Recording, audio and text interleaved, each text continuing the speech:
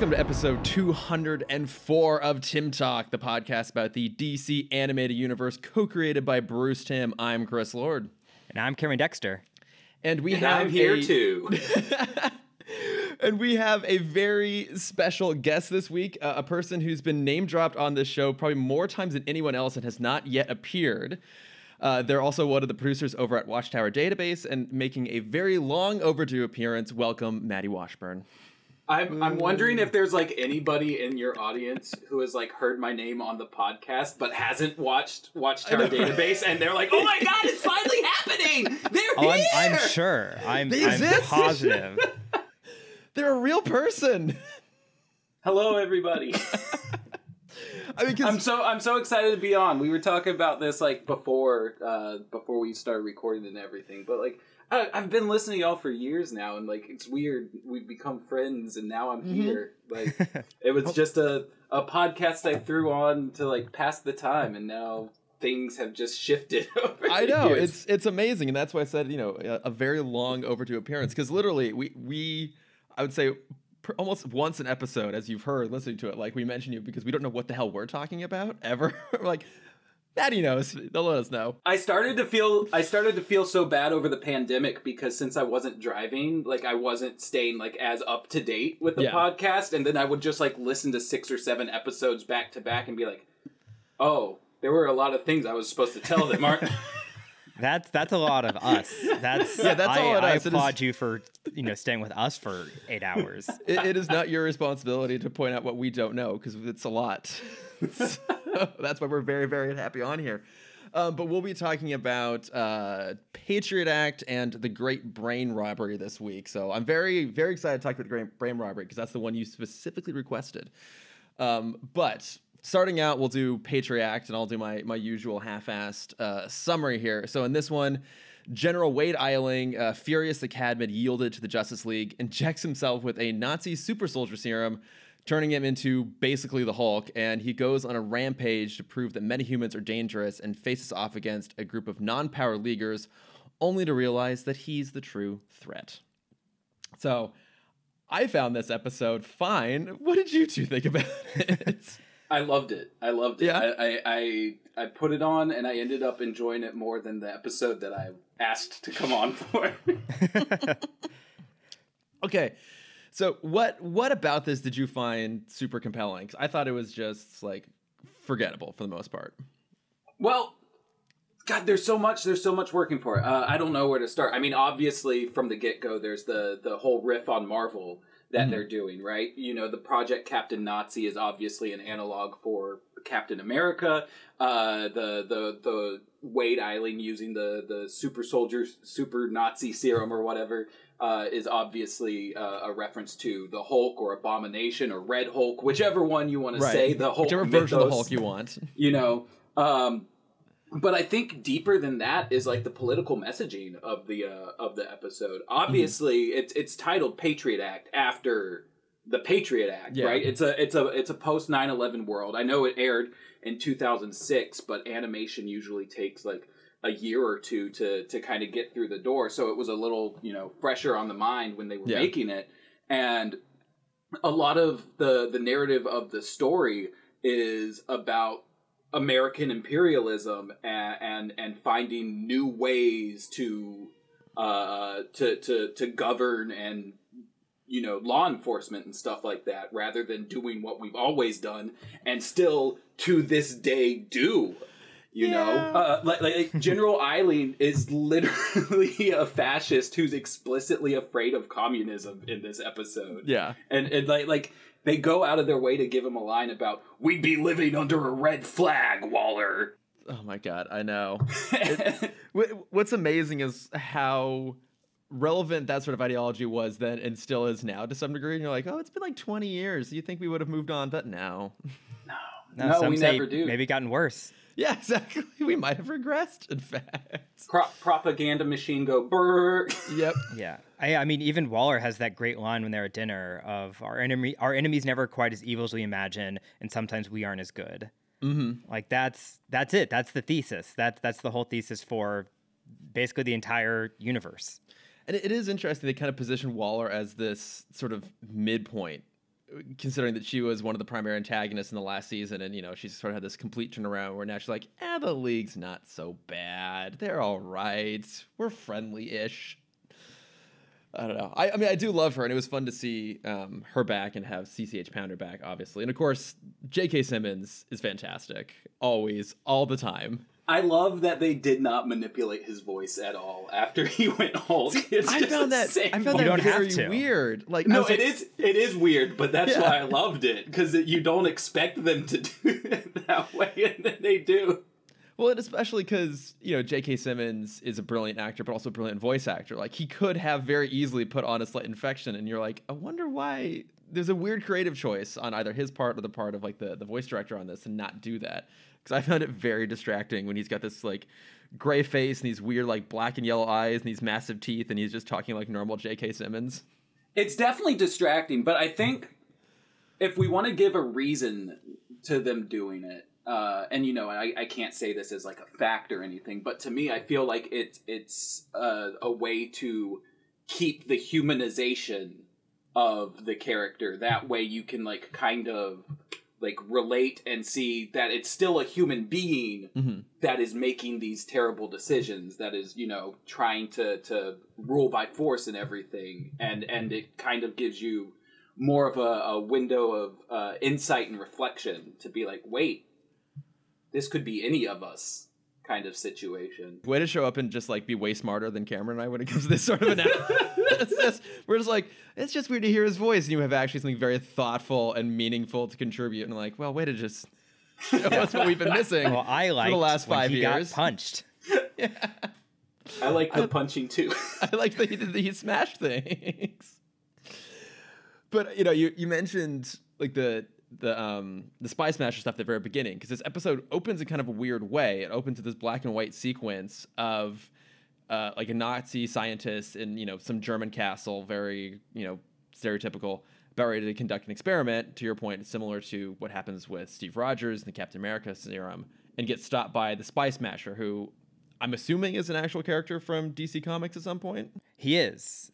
So, so what I learned in my minimal research on this to try and impress Mattie is um, there were a group of seven heroes that existed either right before or right after the JSA. the seven soldiers of victory Yes. Okay, Uh, and see, th- this I- is the team. So it's Spy Master. Uh, Stars and Stripes replaced uh, Star Spangled Lad and someone else. Um, and then it's Green Arrow, Wally, uh, Vigilante, and Shining Knight. Oh, that's seven. okay. Uh, crimson avenger as well yeah yeah, yeah. Oh, and Speedy, which explains why they just randomly drop in Speedy for I think the one and only time in this entire universe. yes My yes. recollection. Is it the same model from Teen Titans? It's not the same exact model, but it is designed specifically to like ape that model and bring it into the yeah, Timm because style. the hair was very uh, like flat to the head, which was Yeah, very Teen Ja- Titans. thing. James James Tucker said that they uh, that that's an intentional uh, Teen Titans reference. Uh, Okay, and that makes which sense. which means which means now I've got now that I'm here, I have to pitch Titans talk. Do it. You Listen, I'm just I'm just saying you just did Flash and Substance. Kid Flash's costume is in the museum. We're doing. Patriot Act now. Speedy is here. Bruce Timm is in, is listed as an executive producer on Teen Titans. We, Well, Chris, is- that's we we've talked about it. Well, I probably ended up cutting all this out, so I'm not held accountable for my decisions. um, we we have talked about it, but uh, we, we we shall see. Um, Mattie. If we keep talking about it the whole episode, he can't cut it out. I've gotten very busy these days. Editing a podcast is a lot of work. I feel the pain. I feel the pain. It's so hard now that I'm back at work to find time to do Watchtower database stuff, and I feel like I'm letting everybody down. Yeah, exactly. I feel I Yeah, feel and guilty. you have real fans. We have Yeah, that's true. you and our parents. oh, that's sweet that you think my parents listen. They don't. My mom says she does, and that that's enough for me. Hi, I don't ask any questions. Thanks, Cindy. We always appreciate you maybe listening. But so that that opening sequence though, like it's fun, but even as I was watching it, it's done in this weird style that feels like it's, you know, kind of referencing or almost aping serialized like films of that time. And so as I'm watching, I'm like, wait, is this is this a flashback? But it almost felt like a movie within a movie to some degree. Like it felt like someone was watching this. It was and it very fictional. Hollywood, yeah. yeah, it felt very Hollywood and stagey. And then you know, it's ultimately revealed that it's been Eiling reading a report. So I guess this is what he imagines all this stuff looks like, which is an interesting thing in of itself. Like that's how he imagines when he reads like military reports is that they're old fashioned movie serials. Yeah, well, how do you read it? I'm sure there's James Bond in there. That's true. Everyone's Everything, holding yeah. a, a martini glass. I just love that. I believe this is actually the first episode of Justice League Unlimited that like I got my fiance to sit through with me. Mm-hmm. And so it starts with that, and she's just sitting there like, "Wait, Wait, what? what? Do I need to know any of this? Yeah. It's like, mean, don't I- worry, none of these characters are going to show up again ever. Ever, ever, Ever. again. I mean, you know, it's it's kind of hokey. It's fun. I love his like ridiculous submarine plane he flies off in the end. That kind of reminded me of Sky Captain: The World of Tomorrow. oh god, this I, the CG on that." Like I, I, I, I- I specifically mentioned it. I was just like, "Oh my god, this is beautiful. It's so out of place." I know. Yeah, I was watching that and I, I had the similar thought, Chris, of like this is very Hollywood, and I was questioning like, would we have rather like I like the the black and white, but like this is 1940s. What if they did it in the style of like the old Fleischer cartoons? Mm, that Like, could have would really that fun. have landed Yeah. if they animated in that same like very rotoscopy style? that could have been a fun way to do it. it. Yeah, it just it felt a little bit tonally and visually like out from everything else we had seen. It just threw me off. Especially So- since we've been to World War II in this universe, That's true. oh, that is true. yeah.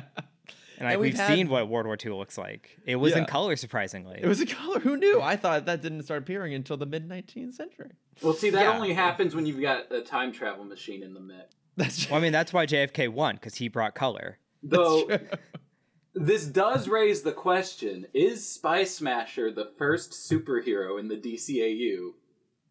I love how you bring that Uh, up like we could answer no, that question. Jonah Hex. Jonah Hex. Oh yeah, was Jonah 1800s. Hex. Oh, is, Jonah Hex, Jonah right, Hex yeah. is earlier. Yeah, yeah. yeah. Okay. Um, yeah, Jonah Hex and Bat Lash and um, I'm trying to remember who else is part of his team way back in the day.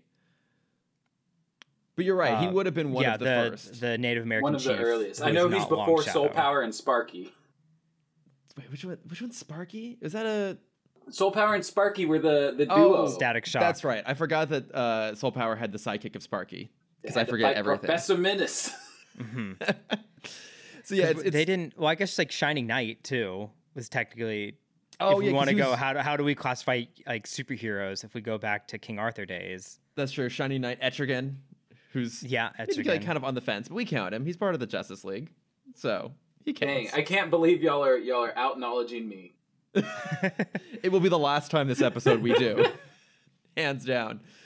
But yeah, so Eiling reads this report, and then we go from there to a dinner that he's having with Waller, where as we were talking about, he's basically saying like, no, the, like the league is still a menace. You know, we didn't like strike a deal, like we lost, we surrendered, and Waller's more or less like, yeah, they're fine, don't worry about it. I I loved I loved that like those lines. It, like it just hit me real hard. He said Mm-hmm. what what was it specifically? He said uh, when one side loses ground and the other side gains, that's not a, a It's not treaty. peace. That's Yeah. that's surrender.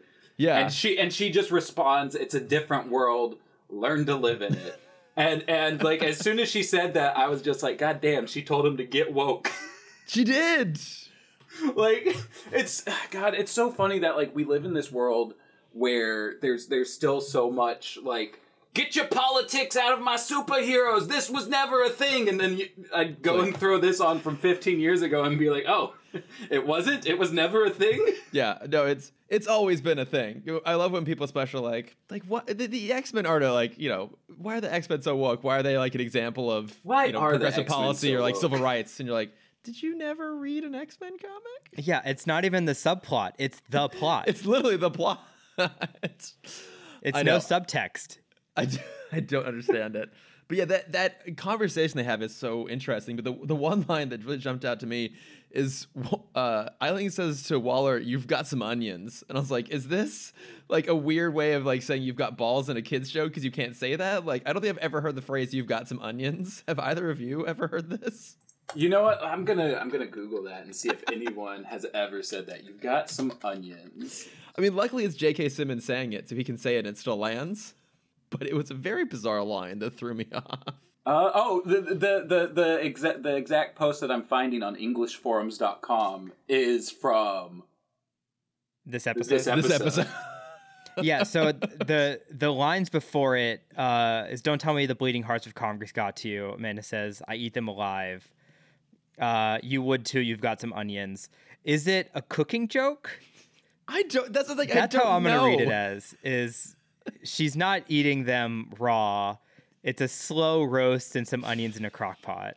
They're simmered, Yeah. maybe caramelized at this point. I th- honestly, it's probably a double entendre that has elements of both readings in it. Yeah, I, I they're it's, they're thinking so many layers above us. It's like an onion. So yes. Cameron, throwing out the dad jokes. here. Not a The dad Shrek joke, a Shrek jokes. joke. I only do Shrek jokes now. 2022, it's just Shrek jokes. Shrek jokes.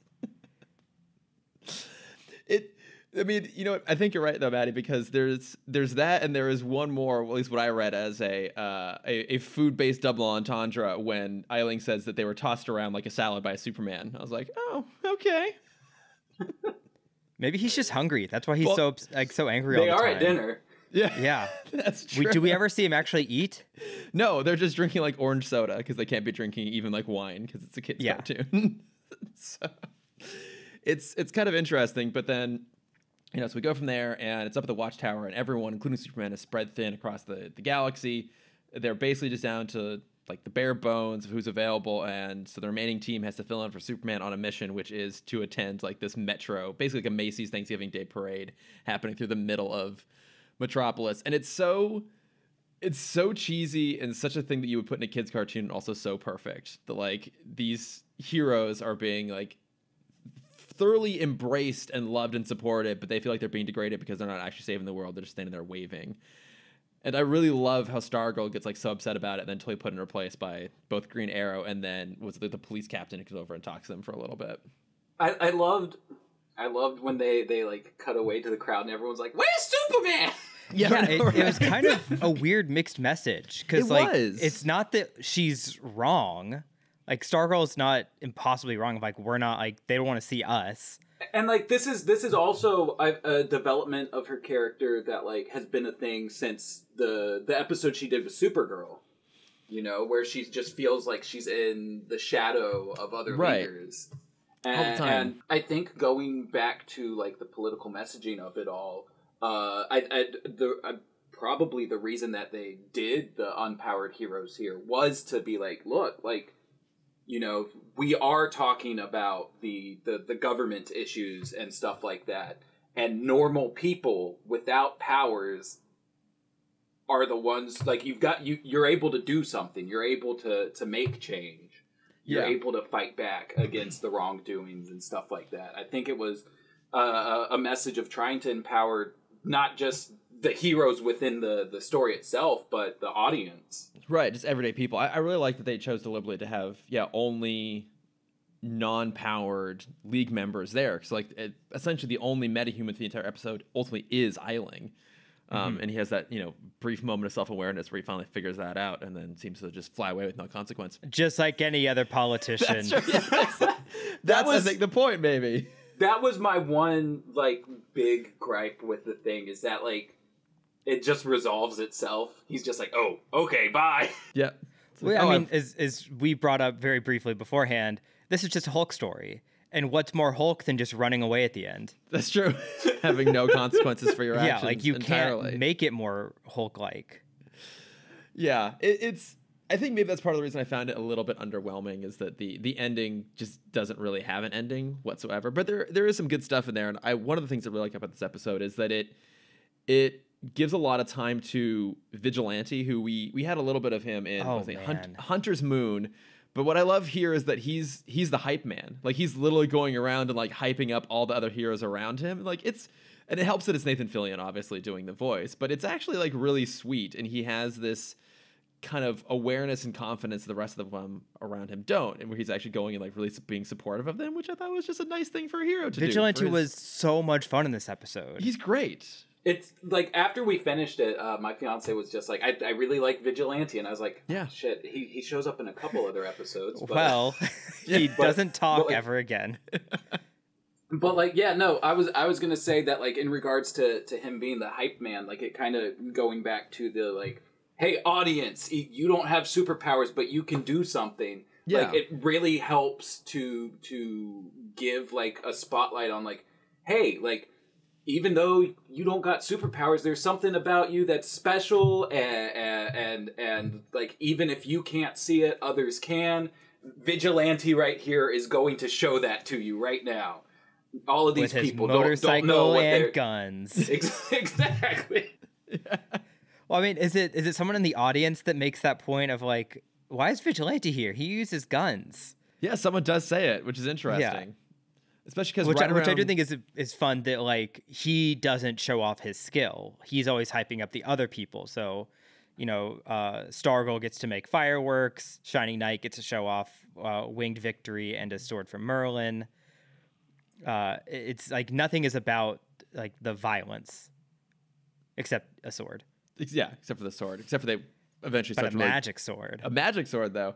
Um, okay, and uh, you mentioned this beforehand, Cameron. So I'm going to give you the opportunity now because Sir Justin makes a comment about finding fighting someone. I didn't clock it because I don't care. But you, who loves Arthurian myth, I'm going to give you a moment here to tell us who he fought and why that matters. And when I The say a moment, I mean a fucking moment. The Tale of Blunderbore. uh, Blunderbore is uh, one of the three giants that Jack slays in Jack the Giant Slayer, Mm-hmm. which I learned is not Jack and the Beanstalk. They are two separate stories. really? Did not know that until this Oh. morning. I Yeah. Damn, Jack has a whole continuity. Yeah. So Jack has been around since Arthurian days. Jack was kind of the original Tom Sawyer, where he's just this kid who's too smart for his own good and everyone kind of hates him. And so Arthur's like, hey, Jack, go slay these three giants that are like messing with the village over there. Um, Blunderbore is the second giant he slays. He is also the original, like, quote unquote, nice guy, where he will kidnap husbands and fry them, kill them and fry them, and then present the meal to the wives to try and win them over. And when they refuse him, he then eats the wives. Y- you would describe this person as a nice guy? The the like the the like you know the quote like the nice guy who like Okay. is tries to be nice and then immediately turns on you the tips, second. tips his fedora. Yes, yeah, exactly. he, he's a milady character. He holds doors for people and occasionally eats them. Yeah, and if, if you don't say thank you after holding the door, he you know roasts you online. Yeah. Who ha- who has not He doxes been you. in this situation? Right, that everyday common situation where some guy just fries up your your spouse, God. and then if you don't like it, That's kills the one you. thing I'm looking forward to about getting married. Yeah, the blunderbores of the world. God. Cameron, I appreciate you did that. And actually, a surprisingly succinct amount of time. So thank you. Yeah, it, it's a fun one. it's a fun one.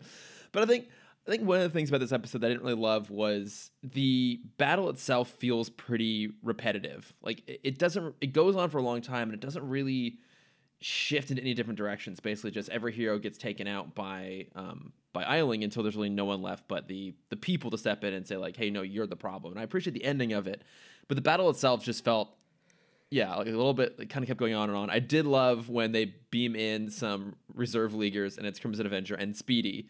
And even Green Arrow's like, really? You brought in my former sidekick to help us here? Former partner. Yeah. I, I, I, I get narratively uh, about the battle going on too long, but there were so many points where I was just like, wow, that's such a cool shot, and it was only on screen for like a couple of frames, and like somebody boarded that and animated it, and like like that that one uh, that one shot of like Green Arrow and Speedy having their bows pulled, like you see that screenshot online all the Yeah. time, and I thought that it was going to be like a longer shot than it was going back and revisiting the episode for the first time in forever. And it's just there and gone. Yeah, And I'm second just- and a half. and I'm just like, wow, they took the time to like just plot this out, like the, and stage all the action as as you know thoroughly as they did. Mhm. And that to me was impressive. That was enough to like keep my attention, even if narratively it was just like, okay, I get it. They're they're they're getting their asses handed to them. Yep, yep, yep. Yeah, but each of them like got their moment. Like you see Stripe try and take down Eiling, and Eiling rips the armor off. Yeah, and Uh, it's about to crush him. Yeah, and then a kid comes and saves the day, which is awesome. You Mm-hmm. know, kids behind kids behind uh, construction equipment, always cool. Yeah, always swinging around a wrecking ball. Always a thumbs up from from Warner Brothers. Those kids, I think, were supposed to be uh, what Jack The Kirby's Newsboy- Newsboy Legion, right? Yeah. So that was a, that was a fun little reference. There's so much like packed into this story.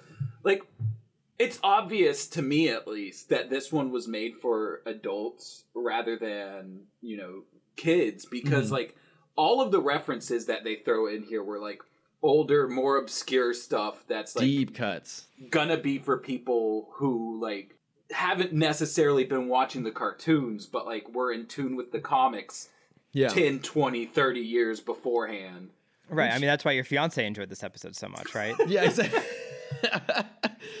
yeah. It's like, oh, finally, the Newsboy Legion is getting their time in the spotlight. oh, I love seeing Jeremy Jordan and the Newsies show up here. I mean, and, and Mattie, you bring up a very good point, which is like, you know, now it's super easy for us to look at that and go like, oh, I'm sure someone has put online like the trivia of where the this came from. But in 2006, you know, the internet obviously existed, but wasn't quite what it is now. It wouldn't have been quite as easy to just go to like literally the DCAU wiki and find it. Like that really was for the people who would know who that is because it, that culture of, oh, I know this is referencing something. Let me go figure out what it's referencing didn't really exist yet. right So, and, and that's the thing that you know we've been enjoying about this season in particular, which you know, uh, from a narrative perspective, does not hold up especially as much as season two. But it's been just like how deep and weird and crazy they'll go with their comics pulls. Like the Yeah, was, like, like- the the battle at the Earth's core, or whatever we did a little while back. Like that one in particular, I was like, I don't know who any of these people are. Like Mhm. any, I usually at least vaguely know who it is. Like I have no idea what's going on with this. it's kind it's kind of nuts what they decided to uh, to throw in this season they just decided to go all over the place and like it definitely makes it feel a bit more disconnected from everything else when Yeah. like the Cadmus story right before it was just like we're connecting everything now and this season's just like okay but now we're going into different directions and and everything. But like it's it's really appreciated that like that they did do that uh, uh just because like it's obviously for people you know who cared about this stuff and weren't necessarily uh cartoon watchers an older audience Yeah, and all their audience Yeah, comics I- fans. I- and that's what they watch. So so curious what the writing room must have been like for this season where it's like all the writers just trying to out nerd each other like who can make the deepest cut in their episode well so you know what's funny is that seven of the 13 episodes were all written by the same guy dwayne they- mcduffie no they were all Oh. uh seven of them were written by matt wayne oh, okay. yeah i think i so he won is, is what you're saying he out nerded the rest Yeah, he was I- the yeah. biggest nerd in the room. Yeah, and I, I know I know Dwayne McDuffie is still on this season. He may have done more story than actual script, though.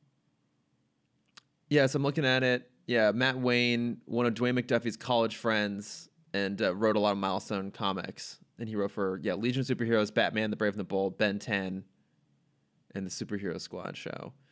Yeah, so Matt Wayne wrote seven of them, and then Dwayne McDuffie wrote one, two, uh, wrote four of them, and then had no, wrote five of them, and then had story on two of them. Okay, yeah. So it was it was basically it was Matt Wayne and Dwayne McDuffie, old college friends, just being like, "Hey, I let's love do that. whatever we want." Good for them. Good for them getting to that point where like, hey, we can just do whatever the hell we want on this show, and it's still gonna get made, and people are still gonna love it. So I, lo- I love that. Like, it, it doesn't seem like Bruce Timm ever told them no. No, I think at this point especially, I think they knew like this was gonna be their last season because Right. the last one was supposed to be their last, and like, okay, we have one more. Just do whatever you feel like. Let's go. Let's go crazy with it. Um, Right. Which is pretty fun. And then and especially the next episode we'll talk about just like how crazy it gets which is you know really fantastic. But yeah th- this one does kind of end abruptly with eiling just realizing like oh i guess i'm the menace. And then i guess like the the final button message on it is that you know the it's trying to teach us as an audience what the characters in this this town the civilians learn which is that the other heroes are heroes too. So like it ends with all the kids being like oh no like i'm gonna be you know crimson avenger i'm gonna be vigilante. Um, which is cute, but it also felt a little bit like you're telling us that these characters are cool. You have showed us they're cool, but like this little button is a final reminder of like, hey, in case you forgot, these characters are cool. I'm like, don't you don't have to tell me this. I know. I think it just kind of you know puts that that that like message of like, hey, you know how like like how I've been saying it's it's it's it's about audience empowerment. Mm-hmm. I think they're ending it on like the kids realizing like, hey, I I can I can be these heroes. They don't have powers. I don't have powers. Like it's it's it's the inspiration, and I think it's just them trying to say, hey. I want you to walk away from this episode inspired. Do something. I want to see the kid that who always wants to play the creeper. Oh my god! Jumps around everywhere. God, I, I, I need that kid in my life. Wait, no, hold on, hold on. That's probably that's that's probably a, a, a, sentence that can be taken out of context. We, we all we we have great admiration for the kid who loves the creeper and dresses accordingly and goes and just embraces himself. One thing, one one moment that I do want to like point out in between where we were talking about the fight yeah. and where we're talking about the end mm-hmm. now is specifically when uh, when Eiling's beating the shit out of Sir Justin. Oh, so good. yeah. Uh, first, like like like like that whole back and forth between them is is just it's great writing. I think the staging of the shots with like Sir Justin trying to get up with you know Eileen there in the background is just like it's beautiful. It it, it looks brilliant, but that old woman coming in at the end and saying how many of us do you have to kill to keep us yeah. safe? Just like that shit cuts. That's a great line. Like, like, like, God, I wish I could write anything that good. I know, right? well, it's. I think it's now after after the Suicide Squad. I feel like that joke is so much, or that line is so much funnier after Peacemaker's line of like, "I'll kill as many people, I'll kill as many women and children as I need to to keep the peace." Yeah, exactly. Because like that's what Eiling is turning into. He's just yeah. Peacemaker but yeah, Maddie, it's a great point. Like that line is so good, and not only is it so great, but that they were able to write a scenario in which a line like that really lands and actually carries a lot of meaning too. Because like out of context, that could feel like a little bit blunt and pointed, but here it actually feels like really grounded to the situation and really prescient. And yeah, okay, okay, fine. You've turned me around on the episode. It's really good. Wow, Maddie, you've done something that I've been trying to do for five years, which is changed. Well, actually, Chris's listen mind. to Maddie. That's the difference. That's fair. it's wait, hold on. So you're saying that if we redo the Zeta and I'm oh, here, no, no, no, no force on earth would make me go back and rewatch Zeta. I'm sorry, Bob Goodman. I know you're a lovely person, but I'm not doing it. I can't. Fair enough. It's not his fault. It's, not. it's it's Kids WB's fault. I will never blame Kids WB for anything. They've only made good choices with Loonatics Unleashed, season one and season two.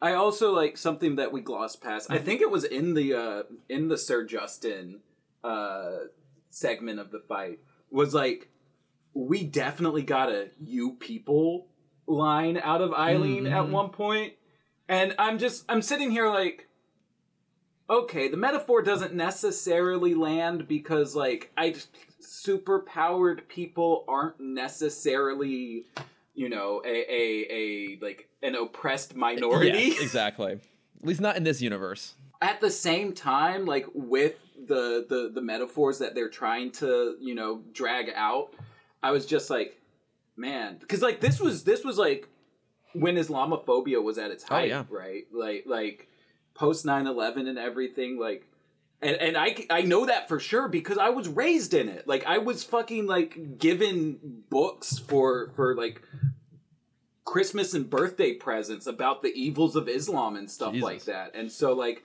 looking at the political messaging of this specific episode and how it's about how America's acting post 9/11 and and shit like that. Like that line Mm-hmm. hit real hard. Like I was just like, I I, I was sitting there thinking about, and like it it doesn't like.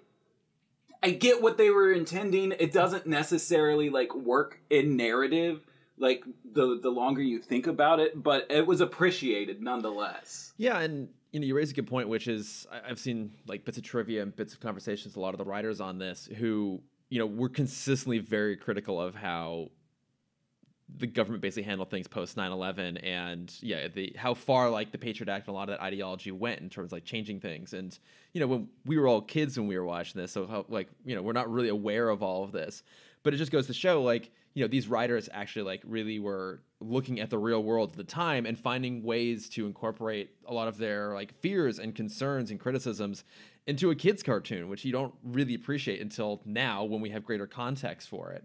Um, but you know i mean it it does speak to the level of sophistication on this. They were never concerned about just making something dumb and entertaining. They wanted to tell us things that were meaningful to them as well. And okay, damn it, now it's a great episode. I'll finally, I'll acknowledge it. Yay! It's gonna make the short Yes! list. whoa, whoa, whoa! I did, I did not go that far. Hey, We'll this is this is an, this is the epilogue to the Cadmus arc. Okay, I will say this though. I think from that perspective, I actually think this undoes more than it wraps up. Because like we already knew that Waller over time kind of changed her perspective in the league because of the literally in the episode epilogue, and I think just because Eiling never reappears, to my understanding, and is just kind of like left floating out there in the ether, that to me feels like a loose plot thread that I find unsatisfying. Like it is really like the messaging of the episode's really fantastic, but I think if you're talking about adding on to the Cadmus arc, I don't think this actually adds a lot. Yeah, Maddie, back me up here.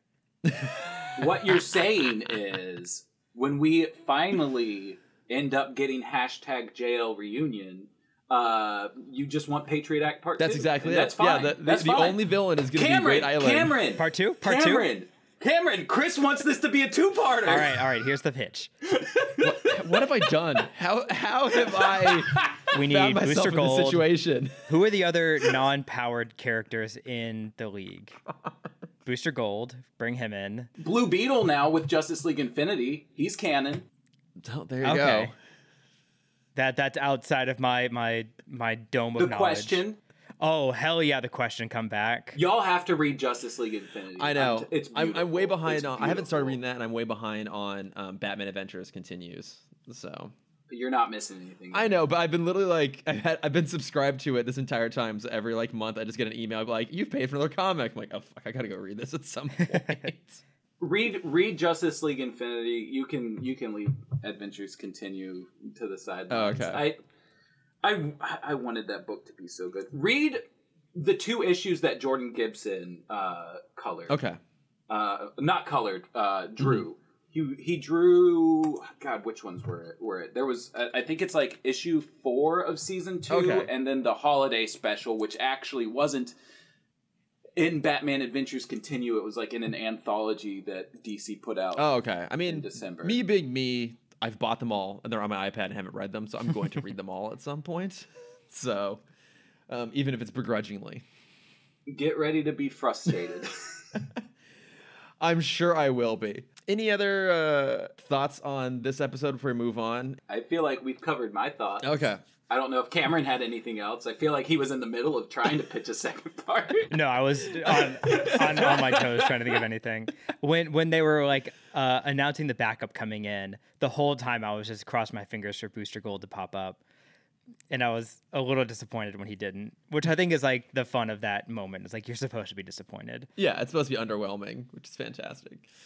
Um, all right, so let's move on to uh, the Great Brain Robbery. So, in this episode, an attempt to locate Grodd through the Flash's mind goes awry, and Flash and Luthor swap minds into each other's bodies.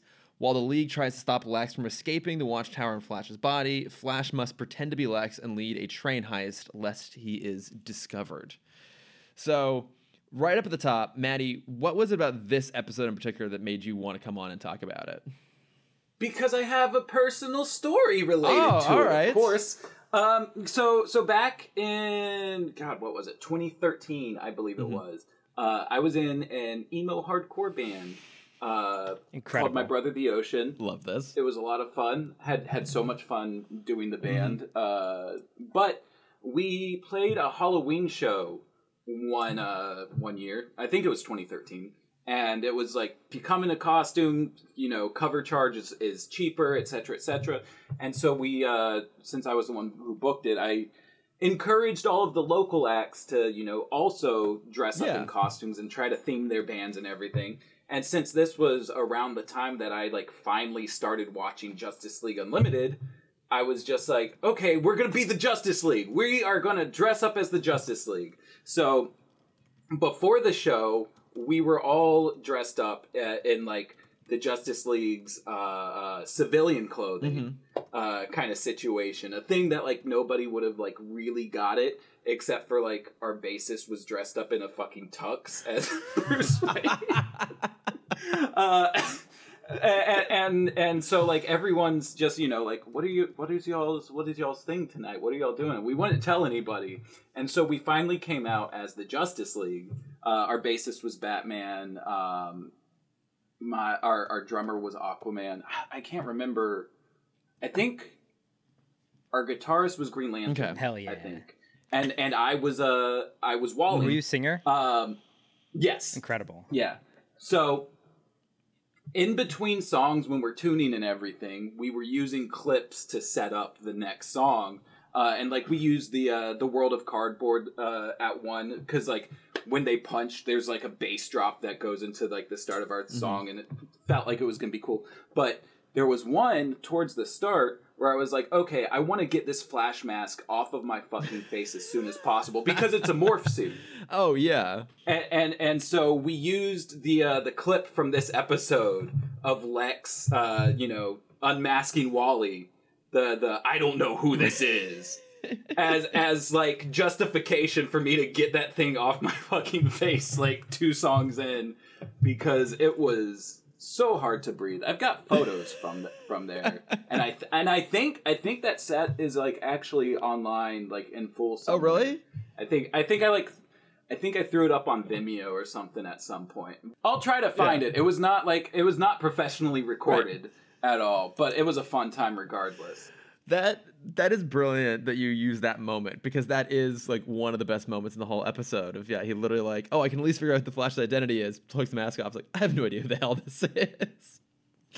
God, like that that specific moment has just been like clipped in me Yeah. for like forever and it, it's it's it's stuck out as like but there's there's so many good moments from this episode. That's just that's just one of the many. Th- yeah, this this is We've been talking about it for years. Mhm. So This is probably the second most quoted episode that we that we've had. Sent uh, the last one being the one with the Flash and Trickster. Oh yeah, Flash and Substance. Mm-hmm. Yeah, no, Flash is just a quotable he is. Yeah. It, he's he's so much fun, and you know they they get into the plot of it pretty quickly. Like pretty quickly figure out how like to force a brain swap situation, which is like a combination of Doctor Fate's magic and like Grodd and Lex's like mind technology. But I think for me, the most fun thing in this whole episode is that they swap voice actors too. So now all of a sudden, you know, Clancy Brown is playing Wally West, and Michael Rosenbaum is, you know, very fittingly playing Lex Luthor, having done it before on Smallville. But like to hear them impersonate each other's characters is so much fun. Clancy Brown, in particular, I think for me really steals this episode. Like bringing in that sort of like tonality and energy to the Flash, but still in his voice. It's endlessly funny to listen to. No, because I'm Yeah, evil. exactly. That, was, that, that is my my second favorite quote from this episode. It's Dr. Polaris asking, "You're not going to wash your hands?" No, because I'm evil. Like Which, which has a lot more weight to it now that we're living in a fucking pandemic. it does actually, yeah.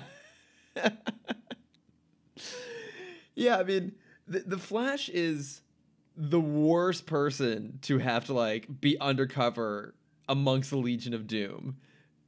So, like he he's so out of his depth, which would make it so entertaining. Well, in all all aspects but one, because there's one villain who was very happy that Wally came along, Miss Talia or Tala. Tala. Uh, apparently, we learned canonically Lex is not good in bed, I mean, and canonically, we also learned Wally is. are are we surprised? Well, sorry, we'll rephrase that. Not good in bed is a gracious lover. Exactly. and that that is the very obvious. Of course, Lex is not a gracious lover. He's a very self-centered person. Are we surprised about this at all? I think my favorite part about it, uh, there, there's there's there's aspects of of that situation that are kind of like the more you think about it, the more it's just like, oh, this is oh no, a little this sketchy. is this is kind of yeah. Yeah, we're getting into some uh, Revenge of the Nerds territory. But Yes. just the the the the best part of it when Grodd finds out that it's Wally and Lex's body, and Tala comes in, and like I don't I don't think Grodd knows that her and Wally like just fucked, but he says Tala. I, I miss when I used to be able to bend you to my will mm-hmm. right there in front of Wally, and he, he's just like, oh, oh, I'm now I'm now you know penis cousins with a monkey. Yeah, it's it's such a weird, weird situation. And yeah, Cameron, to your point, it's like when you're an adult, you look back and it's like, oh, there's like some very questionable decisions around consent happening. I, I know they're also partly playing this for laugh because you know uh, Wally, the you know constantly unlucky in love person who's always like flirting with everyone and never finding any sort of success, like all of a sudden does and is very overwhelmed and surprised by it. Um, it's very bizarre. And I, I do like at the very end though when and Tala realizes that normal Lex is back. She's very disappointed. Yeah, she's not doing a lot to protect him. not happy about what that means. But it's clear that like the writers really knew how to make this fun and funny, but also make it work in context. Like I really love how Lex knows exactly how to use Flash's powers to his advantage all the time. Like the fact that he goes up to the like the Zeta Beam technician, holds his fingers to his head. It looks silly initially, like he's you know doing like a fake gun to the guy's head, but he's like, I will vibrate my fingers and it'll go straight through your skull. He actually knows how to make the Flash's powers deadly in a way that Wally, I'm sure, is aware of, but actively avoids because that's not the kind of person that he is. I didn't think about this while I was watching the episode, but now that you bring it up, like the fact that last season, like he was trying to put himself in like an Amazo body and like bond with Brainiac and everything, mm-hmm. and it, it adds more weight to that. It Yeah. makes it a lot more terrifying. Like, what would Lex be like with powers? We get the answer to it. Like he doesn't he doesn't have the Amazo ability to absorb everyone's powers, but he's just got the Flash and immediately is making death threats. Yeah. Well, and and he is constantly defeating all the other league members. Like he knows how to go up against like even GL, who is one of the most powerful members, and he's able to stop him because he knows how to use the powers. And it, it is really, really scary. I hadn't thought about that, but it's a good point. Like it shows us why the stakes are so high that Lex not reunite with Brainiac because he would be absolutely terrifying. And and actually now I think about it, it's also interesting too because Flash is the one that defeated him. He had Brainiac, and Flash is the only one that could stop him. And it- now it seems kind of like full circle that he gets the Flash's abilities. This isn't a funny episode; it's a scary episode. It's a scary episode, but like, This is a warning. yeah, I hadn't thought about that, but you're right. At its core, like, it really does establish why this is so dangerous that Lex, you know, get access to anything that can make him more powerful. Because just with his mind, he's able to, you know, constantly thwart his other Legion members, right? I mean, even when Dr. Polaris like threatens to basically have a coup, Lex shuts him down and tells him like, "Oh yeah, all of you who got you know repowered and modified by me, yeah, there's fail safes in all of those, so don't fuck with me." And this is after he no longer has any fucking superpowers. And one of the people on like the Legion, as dumb as he is, Bizarro, has the powers of Superman. Yeah, there were there were two thoughts that I had when they when they Im- immediately switched minds. I loved the moment where uh, Wally first gets up in Lex's body and he tries to run to the door and is immediately winded. Right? Like that is the most relatable moment I've seen in all of JLU, uh, in all of the Timmverse. Uh, but the other, and I, I think uh, Maddie, as you just described it, I think answers my question really succinctly. Is like if you were woken up in a in a super powered body, how long would it take you to understand like how strong you were. And and you know mentioning that the flat or that that Lex has kind of been anticipating this moment for years now. Uh, he kind of knows how to handle this, but like if you woke up and you immediately have super speed, like you wouldn't know how to stop. You wouldn't know how to like not be in super speed all the time. Yeah. And I, I love that Lex has probably spent years just like sitting there and stewing, thinking about what he would do if he had these powers, and just being so annoyed at watching, especially like Wally, as powerful as he is, basically just being a jokester and not taking it seriously at all. It must drive him insane knowing that there's these powers exist, he doesn't have them. you know, you think about it, and, and his obsession with Superman, going all the way back to Superman the animated series, has like always been about power. And when you when you think about specifically the uh, the the the switch with Wally, we had the the whole Superman the animated series episode where they were trying to see who was faster, who had Yeah. you know more power in that aspect, whether it was Superman or Wally. And while we never found out, like as the audience, because it ended in a tie, it, it's you know from the the standpoint of Lex Luthor, you know, I'm sure that probably caught attention and was like, wait, this guy, like, he may not have as many powers as Superman, uh, but on one, he's level with him. And, and so waking up in that body had, like, had to be a step towards. And like like you said, Wally was the one who was able to take him down. So at this point, Lex might even be like, wait, Wally is more powerful than Superman. Yeah. The more you like dissect it, it's just frightening. Well, yeah, because I, I was thinking in the middle of it, like, I know like GL is kind of holding back because they said like we, we don't want to hurt the body, Yeah. but also it shows like how powerful Wally would be if Wally took things seriously. Mm-hmm. Like he is unstoppable. He Yeah. takes down. You see that hallway where every league member is down. Yeah. You know, he, he takes out GL with a bowl of pudding. So Yeah, that was great. yeah, there are those little moments where like the fl- like you don't think Lex would do that, but like it's still the Flash. So you you have to do those kind of gimmicks every now and then. Well, and I can also see Lex, you know, he'll utilize any asset he has at his disposal, which in the case like was the cafeteria and all the forks and knives and, and the food. But you can also see him like he's a dick, right? So you could see him just putting a little bit of that spite in there, knowing like, oh, I took you guys out with a bowl of pudding. Yeah, And you'll always and know also that he also knows he also knows that GL won't do anything to hurt him, so he can kind Exactly. of get away with a, a few more things. It's it's it's wild. And I, I really love all that stuff up on the the watchtower. And then you know on the other side of things you have wally and lex's body and they're about ready to do this you know this train robbery making the the whole title of the episode even more fun. And i love that he, you know he doesn't know what the plan is. So he's like okay you all tell me your part of the plan. And he slowly figures out that it's this it's actually a very simple like evil plot. It's basically like that you know Kasnia is now joining the eu and they're getting a massive influx of euros and they're just going to rob the train carrying all of the euros. Like this is How do you Like- think Brexit has affected Kasnia? well, like I, I did have a moment like I, I don't know how that sort of thing works. Like if someone joins you know when someone joins the eu and they have to change up their currency like i would even think that just the the the creation of the what probably hundreds of millions i forget what they say it was like 600 A million hundred 400 million. pa- 100 million Oh yeah, yeah. yeah like even just the creation of like 100 million euros like the inflation wouldn't that be mm-hmm. a, a thing I- again i'm not an economist i don't know how it all works but i, I had a moment of like I, I wonder if that's how that actually works i don't know Chris, I'm gonna let you in on a secret. Money's fake. Well, I know, I know it's fake, but But, just- but, I- but by the fake rules that we make to right, yeah, I know money's fake. So it's like okay, it's yeah, so like the inflation in of itself is like semi-artificial because it's, they just you know literally generated more cash. But like, is that uh, then theoretically offset by like the you know GDP increase that comes with now having Cassie be part of the EU?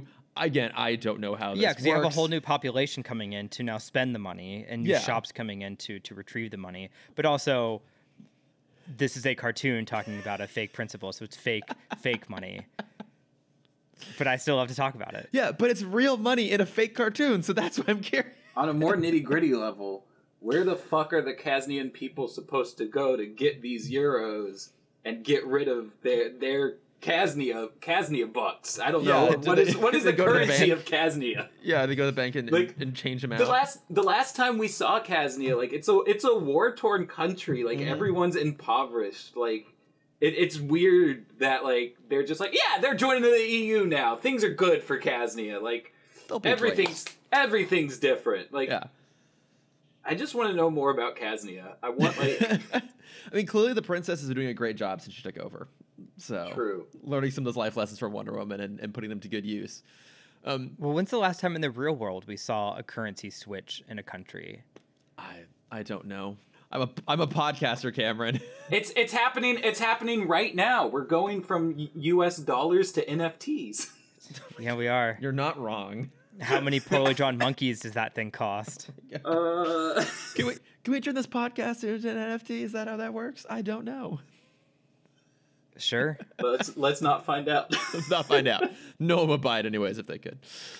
Um, but you know, it, it it's what's interesting is that they more or less get away with it. Like they are essentially like at the point when they are getting ready to load all the money onto um like the the ship and get out of there. And it's just like it it seems weirdly easy in this universe for them to pull off this heist. And I get that they have Sinestro, they have lots of like super high powered people, but you're also wondering like how how does how is there not an infrastructure in place to, like immediately respond to a threat like this? Like where's the call to the league? Well, I have I have a, a much broader question for all of this. Mm-hmm. Tala can make portals. Why? Why are they just portaling there and back? Yeah, why not just like literally portal the train into like the swamp, unload everything, Or just like portal, portal themselves? Yeah, just portal themselves into the train. Yeah. Why do they need to fly there? Why are they loading it back onto their plane Mm-hmm. when they could just open a portal and push it all just straight through from the train? This is this is what Lex was missing. Like this is why Lex needed to be there. I think well, I think the the episode answers that question for you in that Lex doesn't really care about Tala. Oh, that is true. That's true. Yeah, that's that's a good point. He would never want to give her control over the whole plan. He needs to have a lot of different people involved so he can have contingencies in place and to screw them over whenever he needs to at his whim. Um, but yeah, I mean, you know, eventually they figure out how to way to like get them swapped back, and of course, you know, they are immediately able to figure out that it, it's Wally as he threatens to, you know, share GL's like childhood nickname. But that I love that none of the Legion believe that it's actually Lex who's come back, and they're basically threatening to like torture him until he reveals it, and that's when he, you know, shows his, his ace up the sleeve and takes out Doctor Polaris and threatens all of them because at the end of the day, he's just a, a dick, and he, he's just like Batman, right? He has plans in place. He just doesn't care and he use them whenever he wants. Okay, So my question Mhm. after this episode: How would every other league member do if they had to switch brains with a, a evil counterpart? Because you, you mentioned that that uh, Wally's probably the worst one to choose because he's the least evil, but I I would argue Superman would have no idea how to do anything. I disagree. Superman's already has has two entirely different identities, uh, and, and has you know kept a separating line between himself and Clark Kent. Uh, and I think he'd be able to, having known Lex for so long, would be able to act that out. Yeah, I'd agree with that. I think I think Superman could blend in. Batman would obviously take it as an opportunity to undermine every single person in the room as much as he possibly could. Batman would fucking clear. Season would be over. Yeah, exactly. Yeah. the, the whole the whole universe would be done. He'd go through and immediately find a way to take out all. He would realize that Lex has contingencies in place and just turn them all on at once and take out the entire Legion. Well, we already saw last time they kidnapped kidnapped Yeah. Batman that even without Lex's body, he already controlled the league. Yeah, w- way back in Secret Society, yeah, when he literally took out the entire league despite being, or the Legion of Doom, or I guess uh, again the Secret Society, he was able to take them all out, even though he had his hands chained and all he had was just words at his disposal, and he took them down. GL would be fine. GL, yeah, he would catch on pretty quick. I think he would be fine. He could blend in. I don't think Wonder Woman would even attempt to blend in. I think she would immediately just start like beating the shit out of people and trying to get out of there as fast as possible. Well, yeah, because that that is the other question is like, who else would they have? Like, let's not go into the assumption they all switch minds with Lex. Uh, like what would their counterparts? So like if she switches minds with Cheetah, she she could pretty much easily probably just take out everyone and, and escape. Well, and and she's she's just like a warrior at the end of the day. Like, so she's her answer's gonna be to beat everybody. I don't know if the story would uh, uh, would work as well though. If Yeah, it it- wasn't yeah, that's switching true. minds with Lex. Yeah. Right? Like, I mean, it's not it's not like Flash switched minds with Gorilla Mm-hmm. Grodd. But also like this season we've seen Wonder Woman is trying to work on her diplomacy. True. It's like she would try, I think, to to have the conversation and then beat everybody up. I don't know because like we also uh, uh, like if we if we want to do a direct one to one with that, uh, we also had another episode where Flash was like in the den of villainy of his own villains, and he acted uh, he acted a bit different there than he did here. Like I don't think that they would necessarily be like. Let me do the thing Wonder Woman would do. It would just be let me do the thing that like I think Lex would do. Uh, Which is not wash his hands. and and and it Yeah. yeah and and so it's it's i, I think it's more about their perception of lex than it is about what they would personally want to get done Okay, that that is true. Yeah, and from that context, yeah, Superman would would understand the role. Yeah, he, he can make it work. Um, there, there's one other fun little thing that happened this episode that I had to bring up, which is we do learn uh, where the Flash falls in the uh, Justice League ID code We stack. do. He's number six because we have speculated at length about where everyone falls, and I, I do not remember everyone up to this point. Um, but we've we've we've Wonder kind of Woman assumed is three, Yeah, Wonder Woman's Um, three. I think GL might have been four. something like that.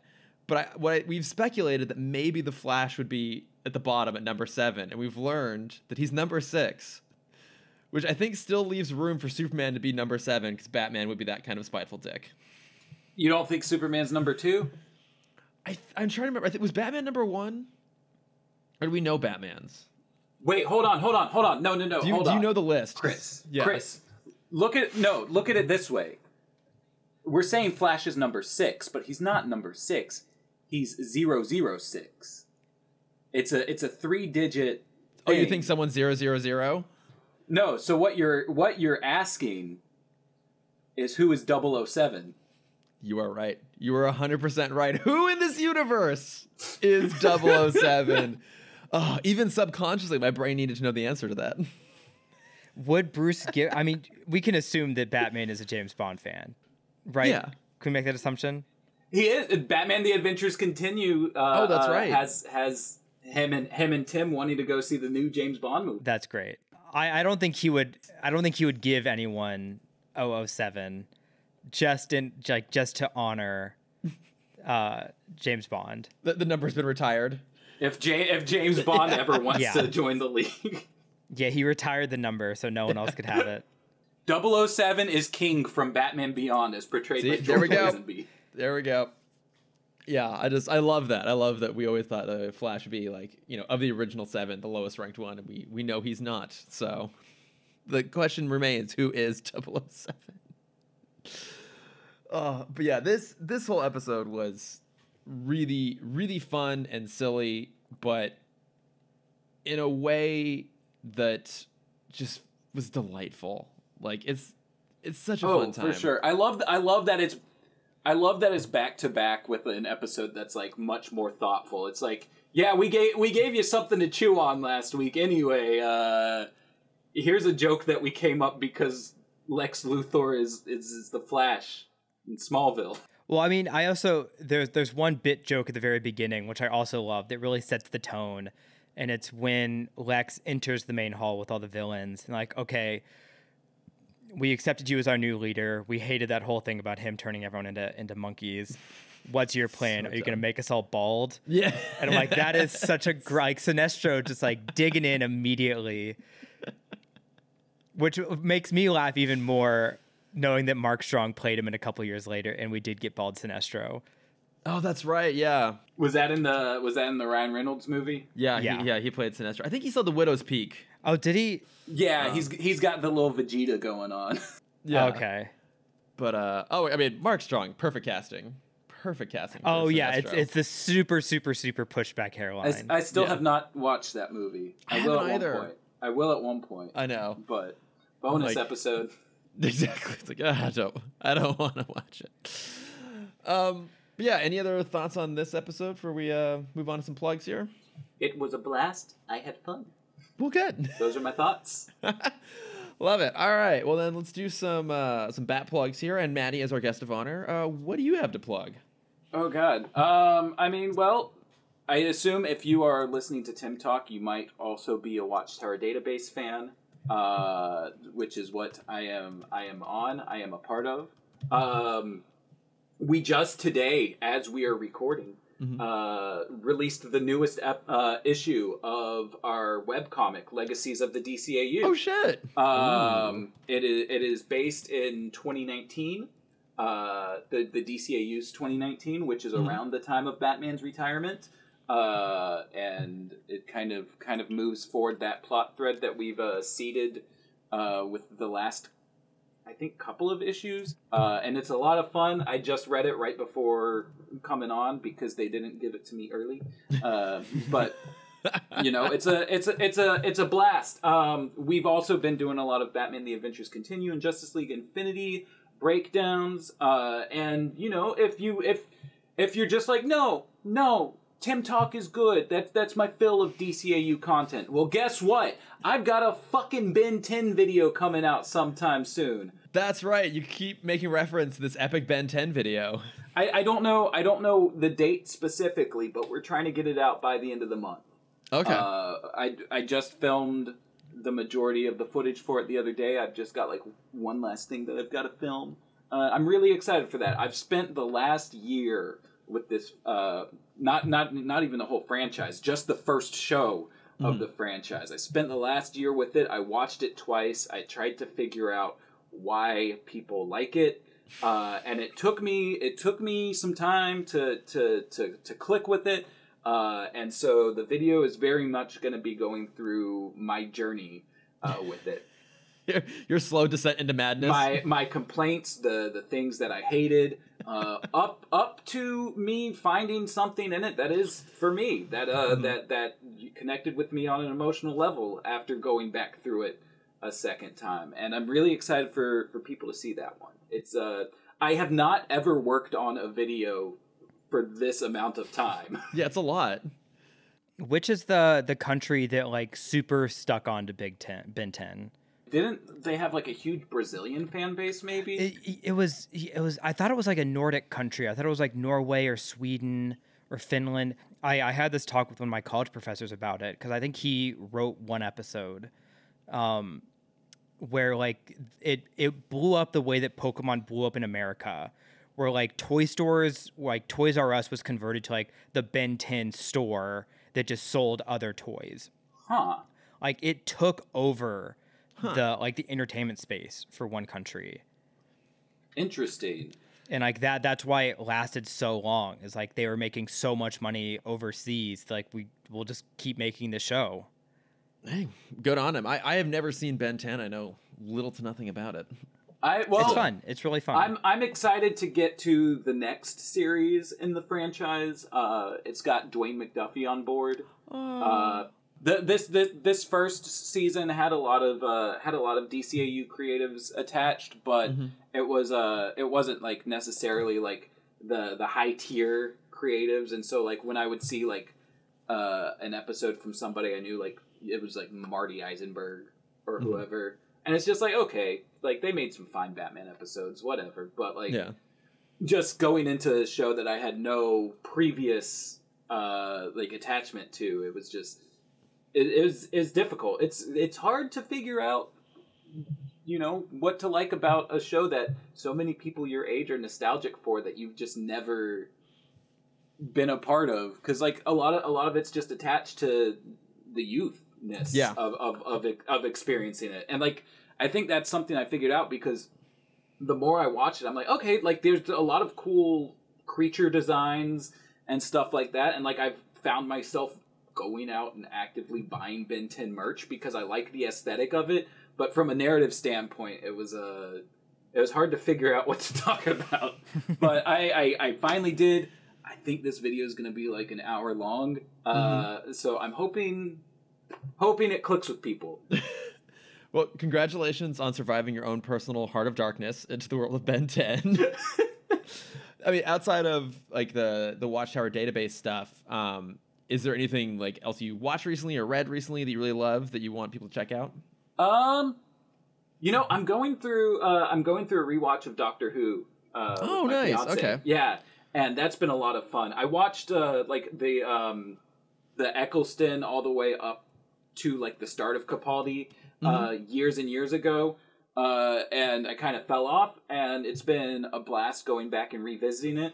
Uh, we've we've been doing the the like Whoniverse though, so not just Doctor Who, but also Torchwood, Oh, okay. Sarah Jane Adventures. Mhm. Um, I'll I'll say that for the most part, the spin-offs are kind of kind of skippable. Mm-hmm. Uh, feeling it, that there's some fun stuff to them, but so much of the, the the heart of that world is obviously in the Doctor himself, and yeah. it's been it's been fun to revisit. I, I did the same thing a number of years ago. Like, kind of got up to the beginning of the Capaldi Capaldi era and, and fell off. Um, where where is it streaming somewhere now? It's all it's all on HBO Max, Oh, nice. Okay. which is also where I've been watching the Matrix uh, series. Oh, I finally, yeah.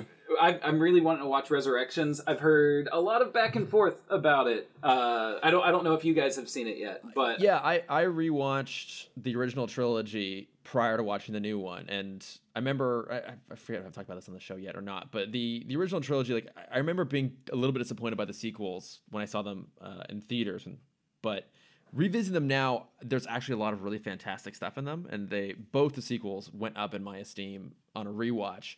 I will say this about Resurrections: there are some really really fascinating brilliant ideas in there, particularly in like the first half hour. Overall, though, I did not find the movie particularly entertaining, and it didn't have the scale or the spectacle that the original ones did. Like, you know, even if you don't love those sequels, you can at least pinpoint to like one set piece is absolutely brilliant that you will like just go back and watch on YouTube. Right. Um, and there's really nothing I felt like that about this new one, but I I think it's still worth watching if you're really intrigued by that world. Right. Um, yeah. No. yeah. Like I've, I've a lot of the a lot of the back and forth that I've seen, uh, just from being so heavily online, it, it has been like there's a pretty clear, uh, like defining line of like, it seems like most of the straight guys that I know are just like, yeah, fuck this movie, Mm-hmm. but but like people who are queer and more so like the trans people that uh, that I follow and talk to Yeah. have been have have been much more forgiving all the way into like thinking it's a fucking masterpiece. Mhm. Uh, so I'm I'm curious to see where I end up falling on that. Uh, Yeah. Once I get to it, we've watched the first two movies, and we were gonna watch the third one yet yesterday, but I watched Justice League Unlimited. we diverted you from your journey to, to join us. Um, yeah, but no, I, I definitely recommend it. It's worth watching Resurrections. So, uh, Cameron, what about you? What do you got to plug this week? Um, what have I been watching? I uh, Cobra Kai season four came out, uh, and it's uh, I I'm so torn on the show because like I love it obviously because it's bad. It's bad. It's bad entertaining content, but it's like it's it's one of those shows where I'm almost embarrassed to talk about how much I enjoy it. And it, it takes a lot to embarrass me on, on the content that I watch. Th- That is a truer statement has never been spoken. Cameron. Yeah. Um, So- and I don't know why, because like it's not a it's not a bad show by any means. but it, it You does just said seem it to is. be- Make It up does- your mind. That's why I'm so torn on yeah, it. it does seem to be kind of like universally beloved, though. Despite like quality aside, people really seem to love it no matter what. So Yeah, it's they they understand the basics of character development and the very basics of storytelling, and they just do the basics so well. Um, but everything else around it, the dialogue, the the writing, is atrocious. um, so but it's it's it's still fun. so is this a plug or not? I don't know. I don't know. We'll say yes. We'll say yes to Cobra Kai. Maybe you need to sit and simmer with it for a little while longer before you. I have been for four seasons. I mean, I, I have said it as a mission to at some point watch the original movie so I can start watching the series because everyone tells me Right, because you you have it. not seen Karate Kids. No, I, the only Karate Kid movie I have seen in its entirety is the next Karate Kid with Hilary Swank, which I do remember seeing in theaters. sometime Which is in the same as mid-nineties. someone saying the only Fast and Furious I've seen is Tokyo Drift. Yeah, but by Which I'm saying is you've seen the best one. Yeah, I was saying, yeah, but your standards. Y'all could rebrand to Karate Talk. oh God. Uh, yeah, kick back, kicking back. Um, yeah, Yeah. I recommend it. The Karate Kids are very fun. Yeah, I'll watch them. Uh, yeah, uh, and then after all the the Harry Potter stuff happening this past weekend, I decided to take a break from the the Wizarding world uh, and go back into my other childhood stories. And I started rereading the Percy Jackson books, oh, okay. uh, and they're so fun.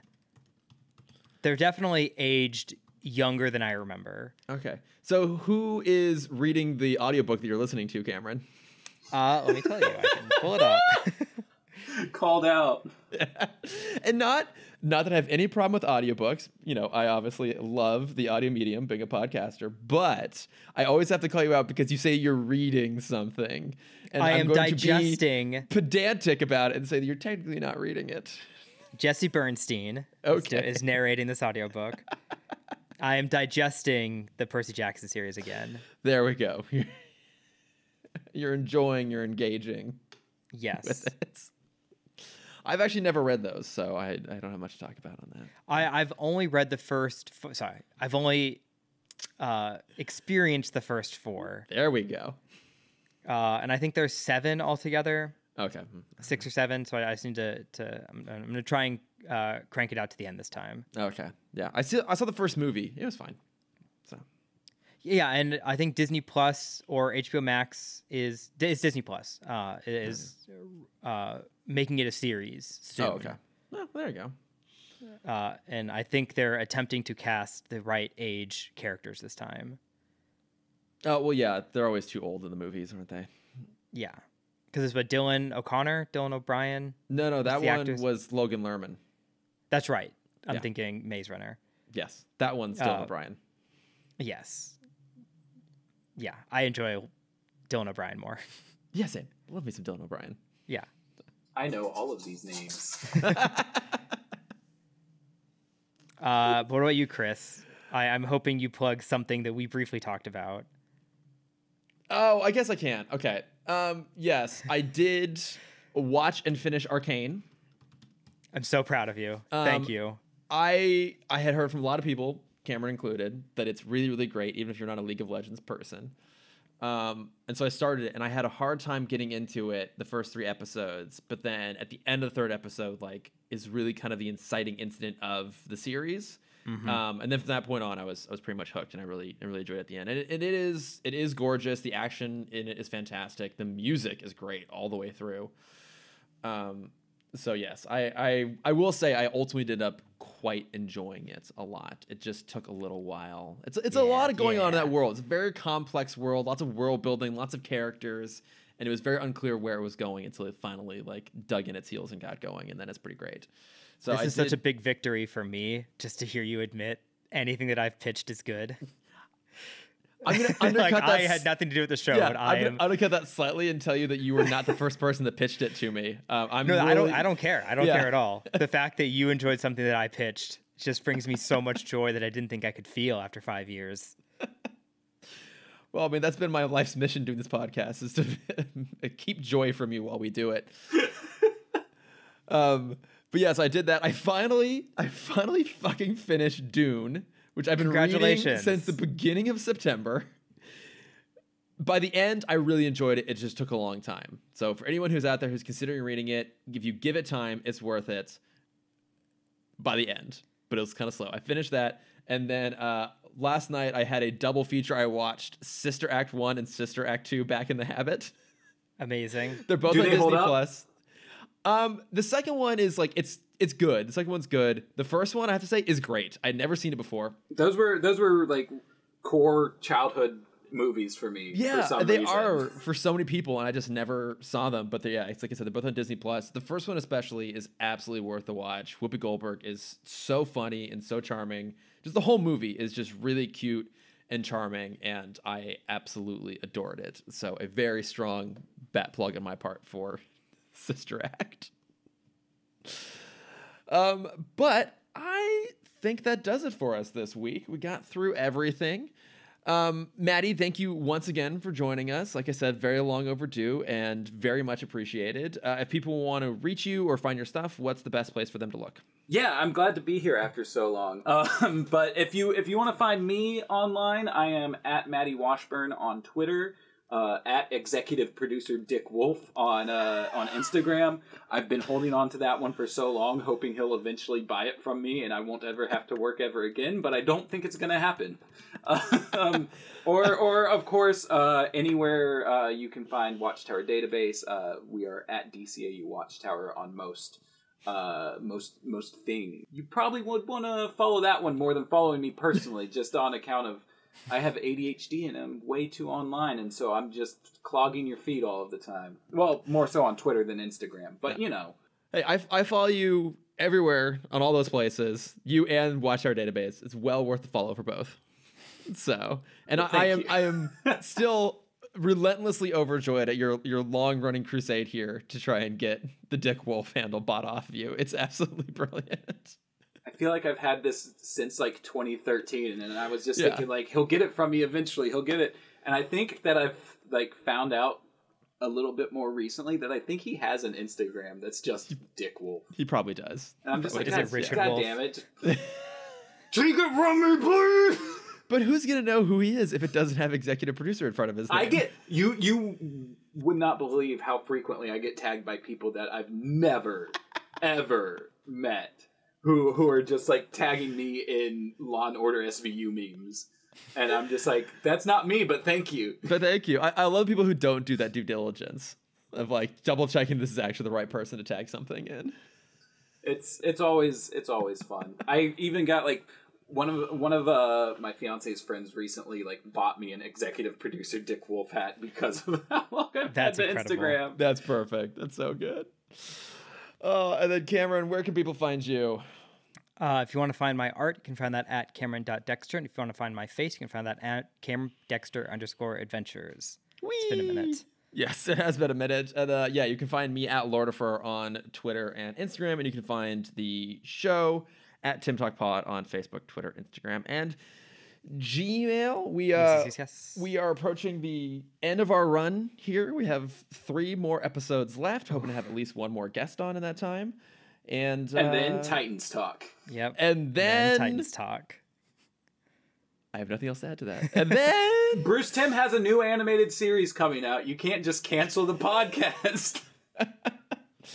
we we shall see what happens. Let me put it that way. well, I hope I hope to hear more from y'all because you guys have been my friends inside of the computer for so long now, and it's it's gonna it's gonna gonna sting if like all of a sudden it's gone. I mean, obviously you guys will still be here, but I like hearing your voices. Talk about Yeah. things that I like. we, we we shall see what ends up happening. We, we we've been talking about it. We'll figure something out. Um, but thank you, Mattie. It's very very very sweet of you to say. And like I said, this was Yeah, we'll see if this Hollywood big shot has time in his calendar for a I, I movie. have a busy schedule. What what can I say? You know, uh, I'm a, Cameron, start a podcast I'm with a your bus- mom. I'm a busy boy. no, my mom also already has a podcast of her own, and it's already doing better than ours. And and you haven't plugged it? Have I plugged it? No, I'm not plugged it. Go back to bat plugs real quick. I think you have way back in the day. I think you did. Probably. My mom and I have this have this weird uh like subconscious competition with each other. Whenever one of us starts a new creative endeavor, the other one will like subconsciously also start that creative endeavor. Mm-hmm. And so when we started Timm Talk, like two weeks later is when she started her podcast. Yeah. And then I, I started writing a book maybe two years ago. And about a month after I started, she started her book. And Yeah, she well- got to publish before me. well, which one is on the Podtower? That's right. Exactly, That's yeah, right. yeah. Who's really found that success there?